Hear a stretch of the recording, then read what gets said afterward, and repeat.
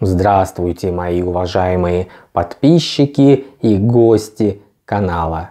В этом видео рассмотрим воду как сырье пивоваренного производства. Вода в пивоваренной промышленности очень важное сырье, благодаря своему влиянию на качество пива и ее широкому использованию в пивоваренном производстве. Производственная вода используется в солодовне, в котельной, для охлаждения сусла в холодильниках и в конденсаторах холодильных машин, для мойки и чистки, главным образом в бродильном и лагерном отделениях, а также в умоечном и разливочном отделениях. Характерно, что для приготовления пива требуется небольшая часть воды по отношению к общему количеству потребляемой воды, которая в 10 и более раз превосходит производство пива в год. Общий расход воды на 1 кубометр пива может составлять от 20 до 25 кубометров. Вода должна быть безопасна в эпидемиологическом и радиационном отношении, без вреда по химическому составу и обладать качествами питьевой воды, быть прозрачной, бесцветной, без запаха и привкуса. В чистой природной воде всегда содержатся растворимые соли, которые оказывают влияние на вкус пива, а также на ферментативные процессы. Для производства пива очень важен солевой состав, и от него в значительной мере зависит вкус пива. Содержание солей можно скорректировать соответствующей обработкой. В хорошей воде не должны присутствовать такие вещества, как натрий HCO3, NH2, CO2, HNO3. Для питьевой воды существуют ограничения по микробиологическим, токсикологическим показателям и по компонентам, ухудшающим ее органолептические свойства. Общее микробное число, то есть число микроорганизмов в одном кубическом сантиметре не должно превышать 50. Бактерии группы кишечных палочек в 100 кубических сантиметрах должны отсутствовать.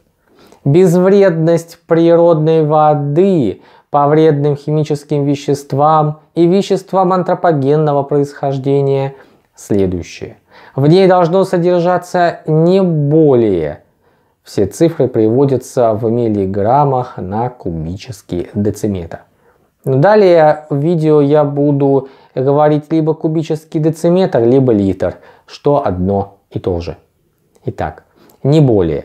Алюминия 0,5, бария 0,1, бериллия 0,302, бора 0,5, кадмия 0,201, мышьяка 0,05, меди 1, молибдена 0,25, никеля 0,1, ртути 0,305, свинца 0,03, селена 0,01, стронция 7, фторидов 1,2-1,5, хром 0,05, цианидов 0,035. В процессе обработки воды в системе водоснабжения допустимо поступление вредных веществ не более миллиграмм на кубический дециметр. Хлороформа при хлорировании 0,2, формальдегида при озонировании 0,5, полиакриламида 2, активированной кремний кислоты 10. Компонентов, ухудшающих органолептические показатели воды, должно быть не более миллиграмм на кубический дециметр. Железо 0,3, марганца 0,1, меди суммарно 1, сульфатов 500, хлоридов 350, цинка 5, нитратов 45, полифосфатов 3,5, озона остаточного 0,3, хлора остаточного свободного 0,3-0,5, связанного 0,8, 1,2. Присутствие солей и железа в больших количествах нежелательно, так как они взаимодействуют с полифенольными веществами сырья и ухудшают цвет и вкус пива. Общая альфа-радиоактивность должна быть не более 0,1 беккерель на дециметр кубе. Общая бета-радиоактивность не более 1 беккерель на кубический дециметр. Растворенные в воде соли кальция и магния характеризуют ее жесткость. С 1 января 2014 года в России введен межгосударственный стандарт ГОСТ 31 865 2012 вода. Единицы жесткости. По этому ГОСТу жесткость выражается в градусах жесткости. Так и пишется градусы большая буква Ж. Один градус жесткости соответствует концентрации щелочноземельного элемента, численно равной 1 вторая его миллимоля на литр. Одна единица жесткости равна 1 мг эквиваленту на литр. Если же мы хотим перевести это в миллимоли, то, допустим, у нас раньше измерялось именно в миллимолях. И тогда 1 миллимоль на дециметр в кубе жесткости соответствует содержанию 40,8 кальций 2+, или 24,32 мг магний 2+, в одном литре воды. А одна единица измерения 1 мг эквивалент на дециметр в кубе соответствует, соответствует 20,4 мг кальций 2 или 12,16 мг магний 2 в одном литре воды. Но далее в этом видео мы будем придерживаться нового ГОСТа и я буду говорить про единицы жесткости в градусах жесткости чтобы мы с вами вместе к этому привыкали, несмотря на то, что этому ГОСТу уже 8 лет. Итак, Жесткость различают временную, постоянную и общую. Временная карбонатная устранимая жесткость обуславлена присутствием растворимых в воде гидрокарбонатов. Кальций HCO3 дважды и магний HCO3 дважды которые при кипячении переходят в нерастворимые в воде карбонаты – кальций СО3 и магний СО3 в соответствии с этими формулами. Карбонаты выпадают в осадок, диоксид углерода улетучивается и вода умягчается. Постоянная жесткость, некарбонатная, характеризуется содержанием сульфатов кальция, магния, хлоридов, нитратов и других, кроме гидрокарбонатов солей. При кипячении эти соли остаются в растворе. Общая жесткость слагается из временной и постоянной. По жесткости а, воду классифицируют следующим образом. До полутора градусов жесткости очень мягкая, полтора-три мягкая, 3-4,5 средней жесткости, 4,5-6 довольно жесткая, 6-10 жесткая и больше 10 очень жесткая.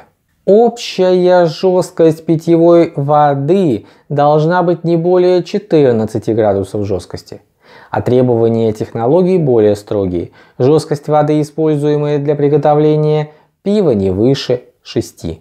Органические соединения, содержащиеся в воде, определяются количеством кислорода, требуемого для их окисления. Этот показатель характеризует окисляемость перманганатная – которая должна быть не более 5. Общая минерализация сухой остаток не выше 1 грамма на литр. Свойства воды. Соли, содержащиеся в воде, влияют на вкус, аромат, цвет, органолептические показатели пива. То есть они химически активны или химически неактивны в зависимости от их способности реагировать с солями солода. Химически активные влияют на изменение pH затора. Это карбонаты и сульфаты кальция, магния, натрия и калия, хлориды кальция и магния. Карбонаты и особенно гидрокарбонаты натрий 2 CO3, натрий HCO3, кальций СО3, кальций HCO3 дважды, магний СО3, магний HCO3 дважды, калий 2СО3, калий HCO3. Обладая щелочными свойствами, понижают кислотность пивного затора, что отрицательно сказывается на последующих стадиях приготовления пива. Сульфаты и хлориды кальция придают пиву полноценную и тонкую хмелевую горечь. Магния – терпкий вкус. Натрия – быстро исчезающую хмелевую горечь. Хлорид ионы придают определенную сладость. Некоторые вещества влияют на ход технологического процесса, как, например, нитрит ионы. В концентрации более 2 мг на сантиметр в кубе они являются ядом для дрожжей, на которые также отрицательно влияет медь. Присутствие силикат ионов после их взаимодействия с ионами кальция и магния вызывает оксалатное помутнение пива. Для приготовления светлых сортов пива используют в основном мягкую воду. Для темного пива жесткость может быть выше.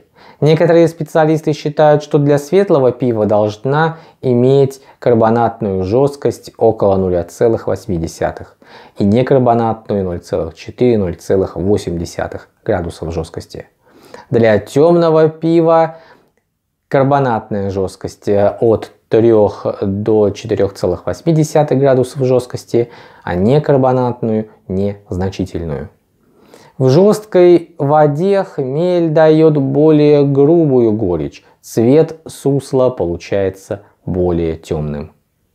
Далее рассмотрим технологию подготовки воды, используемые для приготовления пива.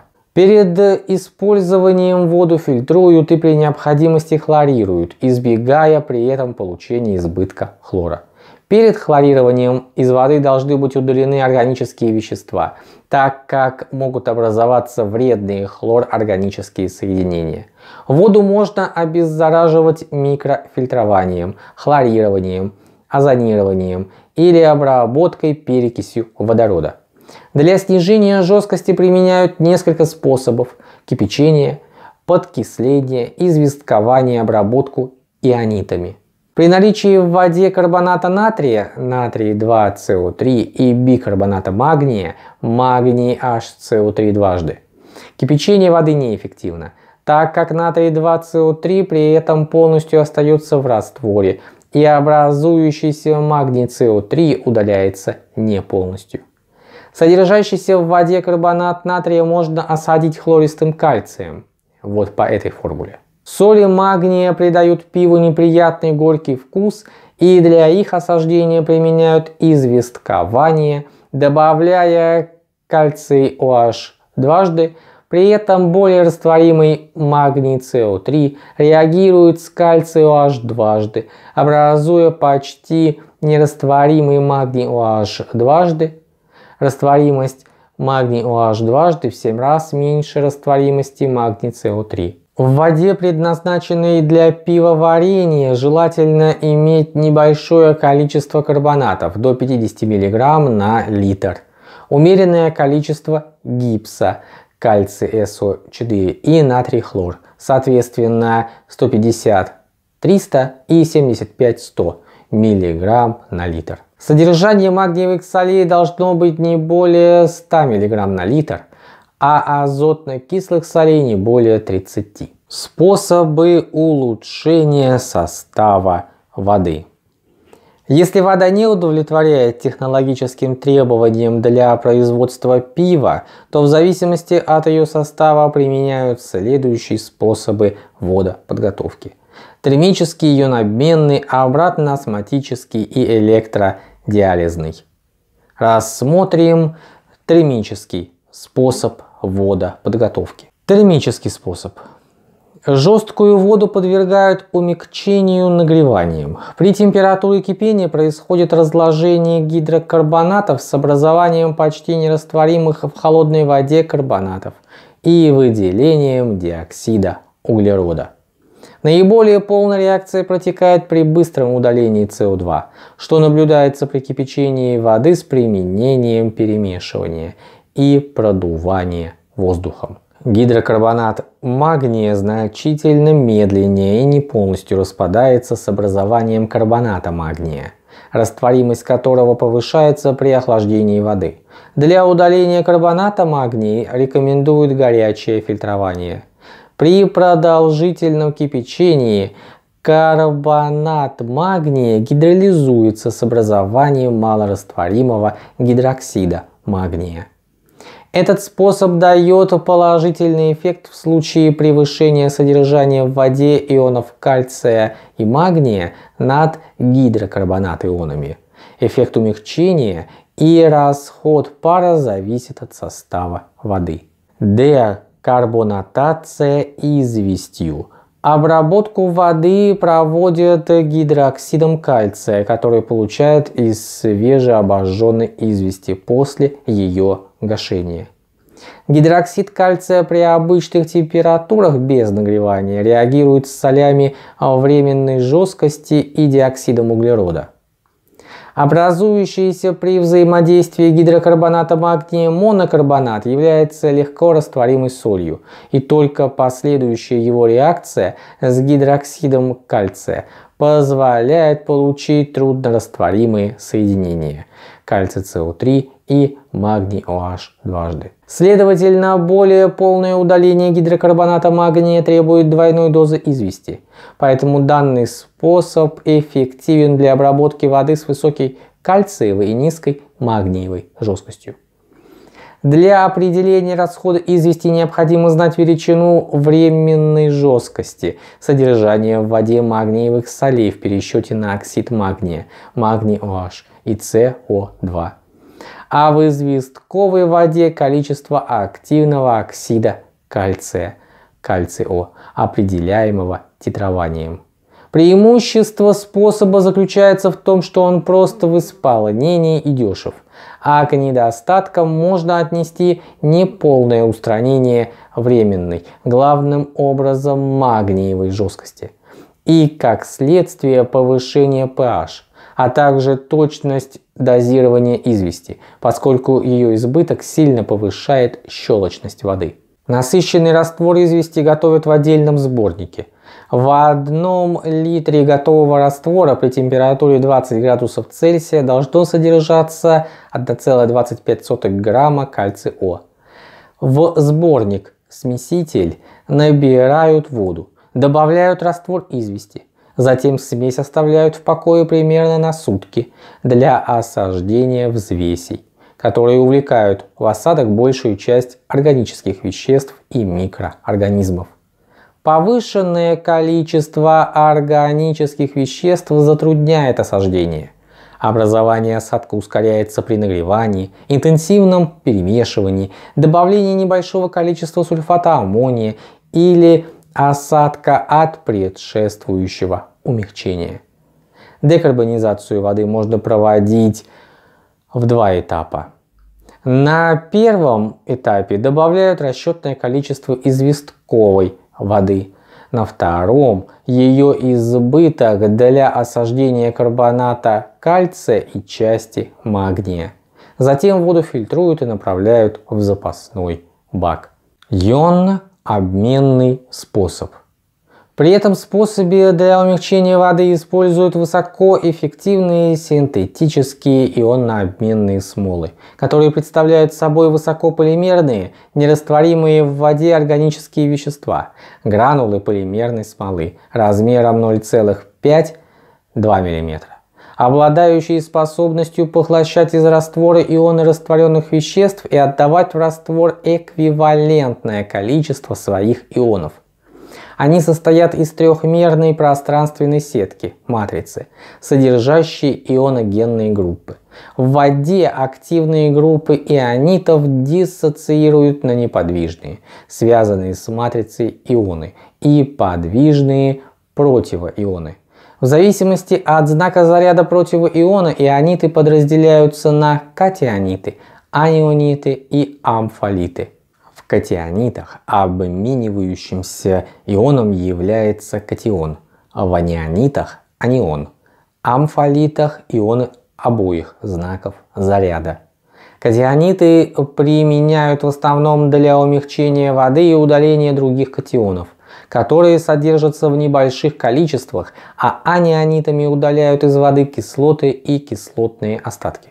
Для умягчения воды используют H- и натрий катиониты, в которых катионы натрия и водорода обмениваются на катионы кальция и магния солей жесткости. При H- катионировании происходят следующие реакции. Аналогично протекают реакции с солями магния. В результате H-катионирования соли карбонатной жесткости разрушаются. При этом выделяется свободный диоксид углерода, а вместо солей некарбонатной жесткости образуются соответствующие анионам кислоты и повышается кислотность умягченной воды. При умягчении натрия катионированием в воде будут накапливаться гидрокарбонаты, сульфаты, хлориды натрия.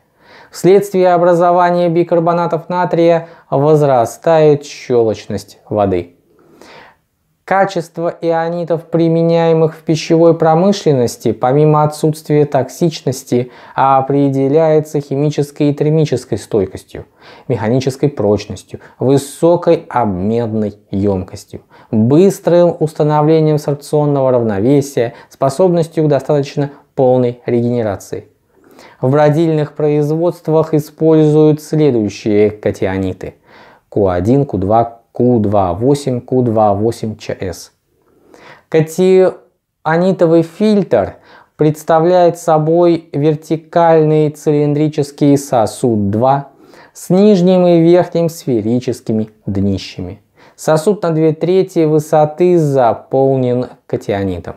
Внизу на бетонную подушку 4 уложено дренажное устройство 3 для отвода умягченной воды. Во избежание уноса мелких частиц катионита на дренажное устройство насыпан слой кварцевого песка 0,5-0,7 метра с размером зерен 1-2 мм. Вода на умягчение подается в фильтр сверху через устройство 1. При прохождении через слой катионита в воде протекают обменные реакции умягчения – После истощения натрий катионит регенерируют 5-10% раствором хлорида натрия, а H-катионит 1-1,5% серной или 5-6% соляной кислотами. Ионообменный способ целесообразно использовать при содержании солей в воде до 1,5 грамм на литр – а при концентрации от полутора до 10 грамм на литр экономически оправдан электродиализный способ. Электродиализ представляет собой перенос ионов через ионитовые мембраны под действием приложенного к ним электрического поля. Ионитовые мембраны изготавливают из смеси измельченного ионита и связующего материала – полиэтилена полистирола. Ионитовые мембраны из-за наличия в них ионогенных групп являются электрохимическими активными и обладают ионной селективностью.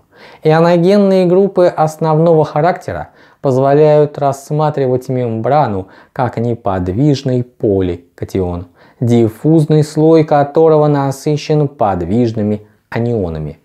Такая мембрана анионопроницаема и наоборот, если группа кислотного характера, то мембрана представляет собой полианион и является катионопроницаемой.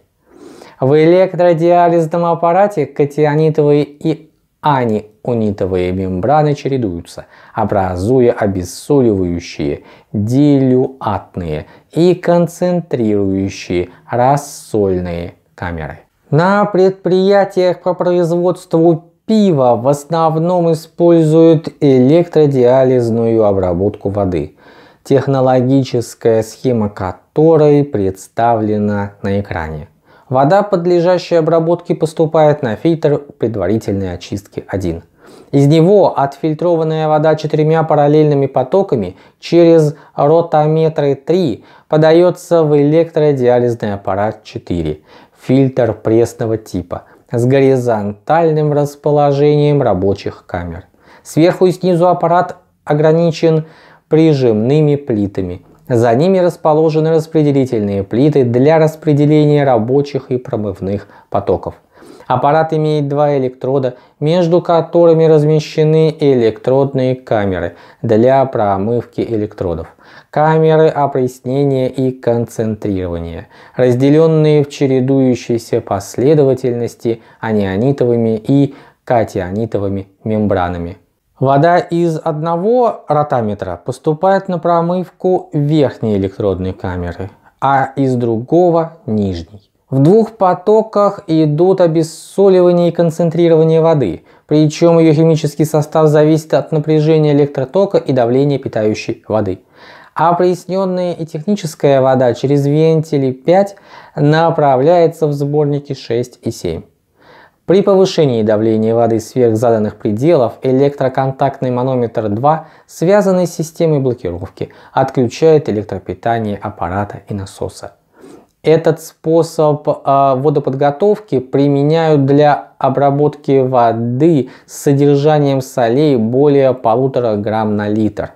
Он позволяет снизить щелочность воды в 2-3 раза, жесткость в 2,5-3 раза, pH на 0,5-1,5 и удалить нежелательные примеси. Способы обеззараживания воды – технологическую воду для производства пива, для удаления болезнетворных бактерий, содержащихся в ней, обеззараживают фильтрованием через керамические обезпложивающие фильтры, хлорированием и гораздо реже озонированием, воздействием ультрафиолетовых лучей или обработкой ионами серебра. Фильтрование воды через керамические обесплуживающие фильтры. Керамический фильтр представляет собой цилиндрический сосуд со сферическим днищем и крышкой. Между корпусом и крышкой закреплена решетка 1, в которой установлены фильтрующие патроны 2 из пористой керамики с размером пор не более 1,57 микрометров. Фильтрующие элементы ежедневно очищают обратным током воды при избыточном давлении 3 сотых мегапаскаль и через две недели проводят дезинфекцию раствором перманганата калия. Дезинфицирующий раствор выдерживают в фильтре от 10 до 12 часов. Хлорирование воды. Этот химический способ обеззараживания воды основан на бактерицидном действии кислорода.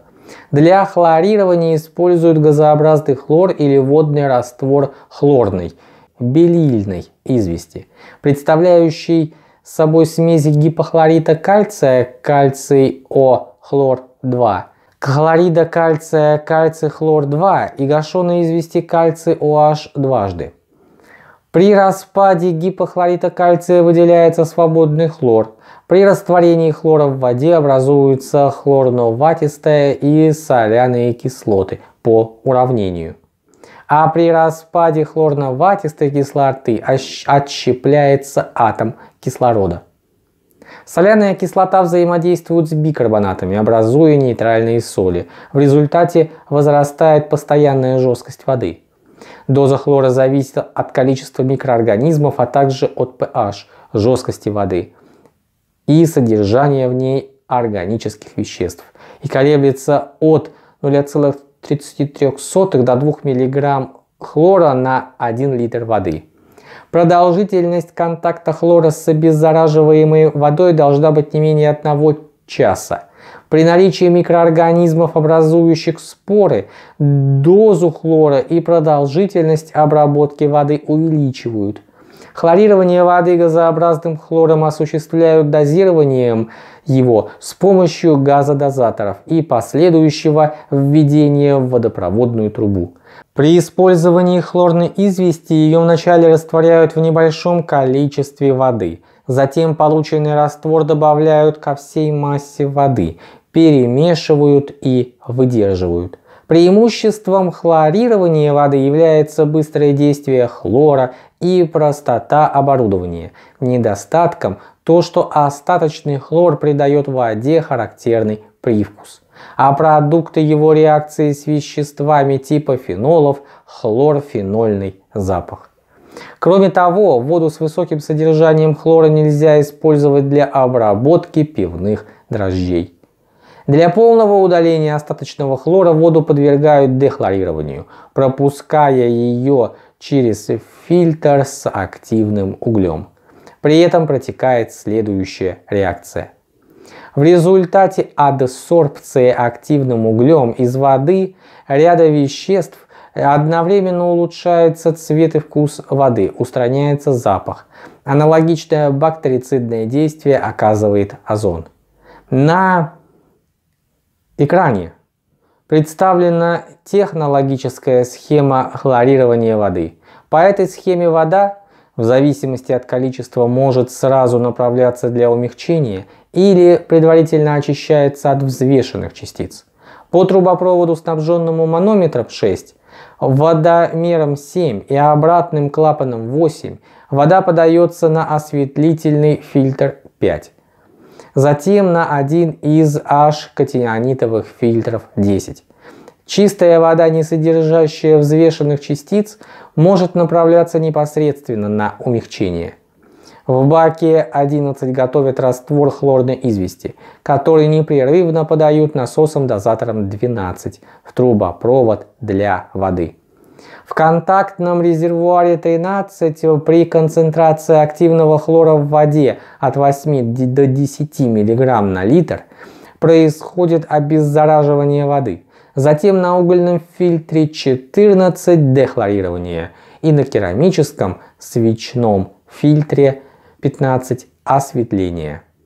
Серную кислоту, предназначенную для регенерации катионита из цистерны 1 насосом 2 подают в сборники для хранения 3. Затем тем же насосом кислота перекачивается в мерник 4 для приготовления рабочего раствора и через эжектор 9 на катионитовые фильтры. Эта схема подготовки обеспечивает получение биологически чистой воды с невысокой жесткостью. Требования к воде после водоподготовки. Вода, предназначенная для пивоварения, должна соответствовать следующим требованиям. Показатели в градусах жесткости. Общая жесткость 2,4, щелочность 0,5-1,5, кальций 2,4, магний следы. Далее показатели в миллиграммах на литр, не более. Сухой остаток 500, железо и марганец по 1 десятой, алюминий 5 десятых, хлориды 100-150, сульфаты 100-150, нитраты 10, цинк 5, кремний 2, медь 0,5. Окисляемость не более 2 мг О2 на литр, pH 6-6,5. В воде не должно содержаться нитритов, а сероводорода и аммиака может содержаться ничтожно малое количество – точно не устанавливаемая принятыми методами анализа. В этом видео мы с вами рассмотрели подготовку и требования к качеству воды при производстве пива. Благодарю вас за внимание. В следующем видео мы начнем с вами уже конкретно рассматривать пивоваренное производство. И начнем мы с приготовления охмеленного сусла. На разбор этой темы мы потратим не одно, а несколько видео. Поэтому подпишитесь на канал, чтобы быть в курсе выхода этих новых видео.